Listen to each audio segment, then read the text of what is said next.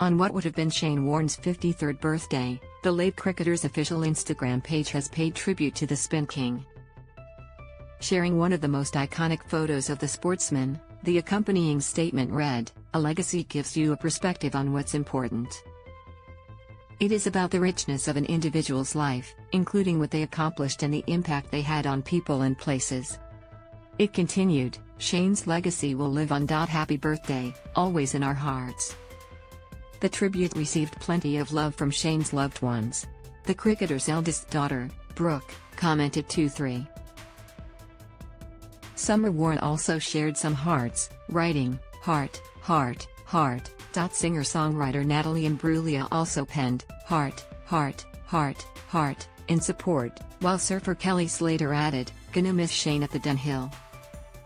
The tribute comes after Brooke honored one of the most iconic moments in her father's career.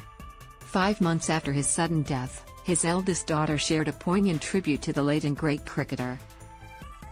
While visiting a very special place in the Spin King's career, Old Trafford Cricket Ground, it was impossible for Brooke not to reflect on her dad's impact. Posting photos from the sentimental day, Brooke penned, Old Trafford Cricket Ground holds a very special place in my family's and my heart, it was very special to be able to visit the ground where the ball of the century took place as well as dad's 600th wicket. Thank you to Josh for taking us around and to the lovely security staff that looked after us. We are so grateful.